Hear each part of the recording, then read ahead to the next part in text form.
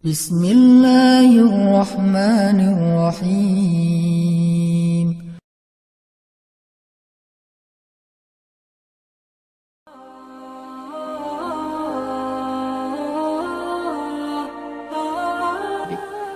Kita imajinasikan suasana ketika Ramadan turun Al-Quran. Supaya kita tahu bulan Ramadan ini bulan yang di langit itu sibuk banget loh. Malam Ramadan pertama di langit itu hiruk pikuknya tuh luar biasa Euforianya tuh luar biasa. Gembira semua langit tuh. Sampai surga dibukain satu pintu yang tidak dibuka kecuali di bulan Ramadan. Dan pohon-pohon di surga itu dihias oleh Allah seperti kita menghias taman dengan lampu-lampu di atas pohon. Jadi surga di bulan Ramadan itu Kelap kelip, indah sekali. Tanpa itu aja udah indah surga teh. Saking indahnya surga, Nabi kan pernah melihat surga ketika lagi sholat ya. Kalau nggak salah lagi sholat gerhana. Gerhana matahari. Allahu Akbar. Tring gitu. Allah buka tabir. Kalau bahasa kita itu di apa dikasih kayak uh, 4D 4 4D gitu kan tiba-tiba Nabi ngelihat sesuatu yang lain Allah bukakan tabir hijab surga sehingga Nabi melihat surga dari jarak yang sangat dekat. Saking dekatnya seolah-olah hanya dengan melangkah beliau bisa metik buah anggur di dalam surga. Nabi lagi sholat nih. Allah bukakan hijab, Nabi ngelihat surga, ada anggur yang bergelantungan dan gemes banget pengen dipetik saking kerennya nih anggur, saking ranum banget. Nabi berjalan lagi sholat menuju ke depan dan pengen ngeraih anggur. Lalu Allah tutup hijab itu, dibukalah hijab neraka, Nabi langsung mundur ke belakang sampai mentok ke sahabat di soft pertama karena melihat isi neraka. Ini artinya surga nggak dihias saja tuh udah keren. Nggak dihias saja Allah sampai mengatakan bahasa-bahasa tentang surga itu di dalamnya lu-lu, marjan, segala macam. Di dalamnya ada banyak perhiasan-perhiasan. Belum lagi nanti bahasanya mudhammatan. Ada jenis surga yang hijau tua. Hah? Surga hijau tua maksudnya apa? Surga yang lebat dengan pohon-pohonnya. Ini berarti surga kayak Amazon kalau di dunia. Hutannya lebat banget dan itu buat anak-anak yang anak-anak gunung lah ya. Yang senang-senang gunung tuh ada mudhammatan ayatnya. Saya lagi nyari-nyari surga yang ada ombaknya yang mana gitu. Yang ada mudham, kenapa surga identik dengan gunung, kebun, rumah, pasangan. Yang pasti pasangan itu yang penting sih. Karena ada kebun, gunung, segala macam sendiri agak-agak garing juga ya. Dan insya Allah di surga itu nggak ada jomblo, tetap hashtag. Mudhammatan. Jadi anak-anak wanadri ini coba baca Ar-Rahman dan coba bedah lagi ayat mudhammatan. Surganya hijau tua. Kenapa hijau tua? Saking lebatnya hutan di dalam surga. Kayak gimana eh, jenis pohon di dalam surga? Satu pohonnya kita berjalan di bawahnya 100 tahun, itu belum keluar dari naungan dahan-dahannya. Kan di daerah Taman Sari gitu kan, ada pohon-pohon yang kebun binatang yang gede banget ya, melintasi jalan. Itu baru di dunia aja udah kayak gitu pohon, gimana di surga. Sehingga kalau kita berjalan di bawahnya 100 tahun, naik naik onta nih 100 tahun, belum keluar dari dahan atau naungan keteduhan satu pohon doang. Makanya disebut mudhamatan, hijau tua, lebat banget. Siapa yang ada di sana? Itu tempat spot buat berburu. Karena salah satu hobi nanti penghuni surga, terutama yang cowok-cowok berburu. Cewek-cewek nemenin cowoknya berburu. Berbu, berburu, kita udah dan berburunya udah jago, bukan meleset-meleset wae ya. Jadi nggak seru juga kan, ah meleset akhirnya stres. Kenapa nggak dapat buruan? Masa di surga stres gitu? Pastilah. Nanti kalau yang tadi main air pasti udah jadi tiba-tiba jadi kayak Kelly Slater gitu, tiba-tiba jadi apa main di barrel gitu, udah jago pro skate apa pro surfer gitu. Karena di sana tuh udah nggak ada lagi yang setengah-setengah, semuanya jadi pro. La khaufun alaihim wala nas. Gambaran emosional, perasaan manusia di dalam surga, la khaufun alaihim wala hum yahzanun. Nggak ada lagi rasa takut, khawatir, dan nggak ada lagi rasa kecewa atau sedih. Terus gambaran rumah dalam surga, rumah yang tidak ada teriakan di dalamnya dan tidak ada ucapan-ucapan tercelah. Itu rumah surga. Sakinah mawadahnya surga itu nggak ada teriakan, nggak ada ucapan tercela. Setiap hari yang kita dengar dari pasangan kita kalimat yang indah. Pasangan kita nggak mungkin ngecewain kita di surga. Kalau di dunia kadang manyun, wajar lah ya. Kadang salah ngomong, wajar manusia. Tapi di surga nggak ada yang kayak gitu. Semuanya nikmat. Dan malam Ramadan, surga yang indah itu Allah hias. Jadi kita bayangkan, kita imajinasikan. Kenapa Nabi ngomong sedetail ini supaya kita berimajinasi tentang uh, keadaan Ramadan. Sampai yang saya pernah cerita Nabi pernah Allah perlihatkan surga dalam mimpi kan? Dan mimpinya Nabi itu bagian dari uh, mi'rajnya beliau naik ke langit. Ngelihat sebuah istana yang indah. Istananya tembus pandang jadi kayak kaca gitu. Kemudian di dalam istana uh, di sebelah istana itu ada seorang cewek lagi main ayunan. Terus uh, Nabi nanya kepada Jibril, Jibril itu cewek itu siapa? Uh, itu rumahnya rumah siapa? Rumah Umar. Langsung Nabi memalingkan wajahnya karena ternyata itu istrinya Umar. Ini menunjukkan bahwa surga itu real teman-teman dan sekarang udah ada. Surga itu bukan diciptakan nanti setelah kiamat enggak. Surga itu salah satu di antara ciptaan-ciptaan Allah yang awal. Jadi awalun juga tuh surga, neraka, al-qalam yang kayak gitu-gitu tuh awalun loh yang awal-awal diciptakan. Jadi surga sekarang udah ada, cuman beda dimensi sama kita. Kalau Allah berkehendak, kita hanya bisa kita hanya perlu waktu beberapa detik untuk sampai ke sana kayak Nabi berisra dan Mi'raj. Beda dimensi dengan kita. Jadi suasananya udah ada, nyanyian surganya udah ada, yang isi dari lirik nyanyiannya apa? Salaman salam, salaman salam. Semua nyanyiannya kalimatnya adalah keselamatan, keselamatan, baik, baik. Nggak ada kalimat-kalimat yang yang jelek di dalamnya. Ini artinya Ramadan adalah bulan yang sangat istimewa di sisi Allah. Sehingga kita hayati itu teman-teman. Itu yang kedua. Yang ketiga yang yang ada empat yang kita cari dalam traveling. Yang ketiga adalah bangun mood. Karena kalau kita traveling nggak ngejaga mood, itu biasanya juga tadi garing kan. Walaupun tempatnya keren, fasilitasnya bagus, itinerary-nya udah udah udah lengkap banget. Tapi karena kita nggak mood, kenapa nggak mood? Bisa jadi tadi sakit hati, baper, bete, ada haters di followan, apa followers kita, komen ada yang komen negatif ke kita di akun. Sesuatu yang simple banget tapi bisa bikin mood kita hilang. Kan nggak nyaman lagi ya perjalanan. Kebayang nggak sih kalau orang lagi umroh, lagi traveling suami istri yang tadinya niatnya pengen honeymoon, tiba-tiba kayak ada sedikit uh, ke, ke apa keributan gitu di dalam hotel bertengkar. Akhirnya yang satu tidur di lantai di sofa terus satu satu lagi tidur di kasur.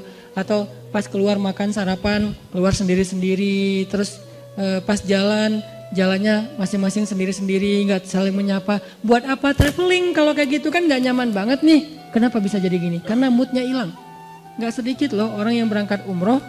Sampai di sana malah diam-diaman yang tadinya udah happy-happyan, kita umroh pertama nih berdua, sampai di sana ada masalah sepele, akhirnya diam-diaman. Mungkin masalah sepelenya apa? Katanya tadi nungguin saya di pintu, saya tungguin lama, ternyata udah makan duluan di hotel, akhirnya ngambek misalnya. Katanya mau apa, mau umroh apa, mau tawaf bareng, tapi kok kamu pergi duluan sama teman-teman, akhirnya ngambek. Bisa ada apa aja yang bisa bikin mood kita uh, drop. Gitu juga Ramadan. Mood Ramadan sangat ditentuin dengan keadaan dalam hati kita. Gimana supaya hati kita selalu mood imannya baik buat ibadah-ibadah Ramadan? Banyak istighfar teman-teman. Karena yang bikin mood iman kita drop, dosa. Saya selalu ngulang-ulang kalimat dari ulama, min awalil khair antatrukasyar. Awal dari semua kebaikan itu tinggalin dosa. Salah satu cara ninggalin dosa, istighfar.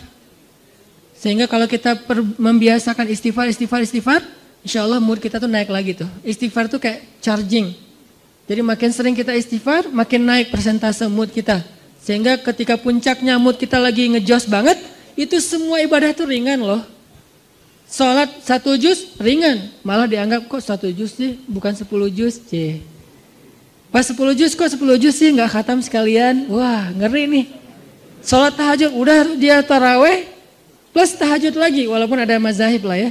Dia tahajud lagi di rumah. Kalau tadi kenapa tahajud lagi? Soalnya tadi kan tarawihnya crowd. Saya pengen tahajud berdua. C.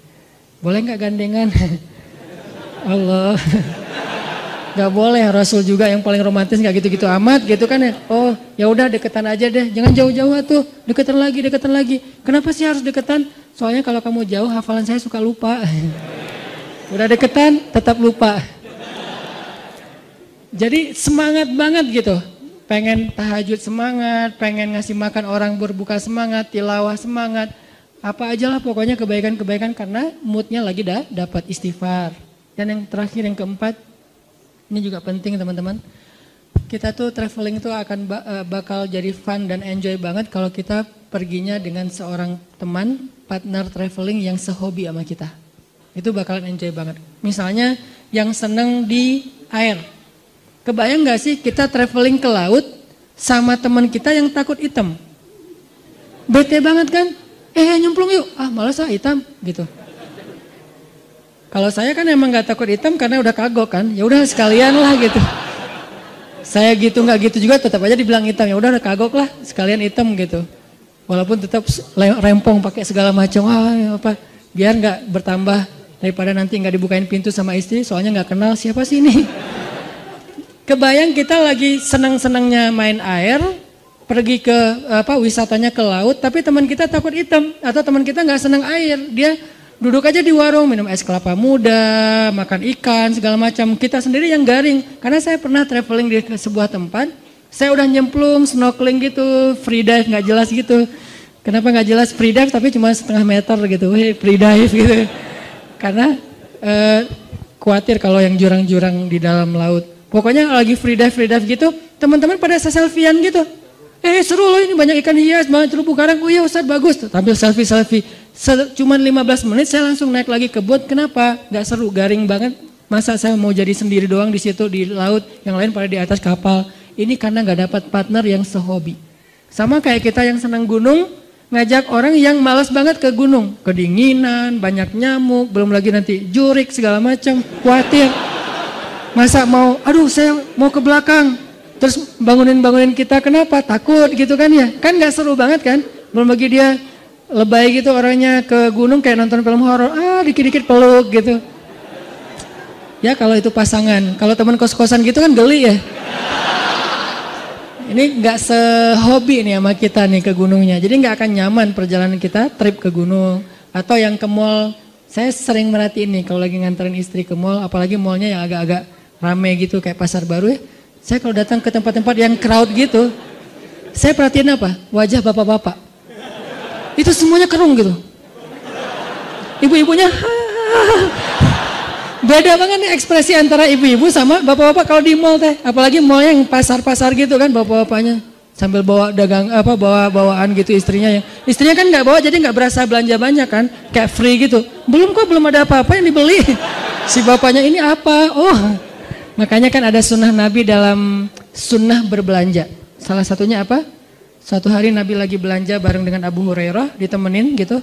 Pas Nabi udah beli sesuatu, Abu Hurairah pengen ngambil. Ya Rasul biasa bawa. Kata Nabi, seorang yang belanja membawa belanjaannya sendiri.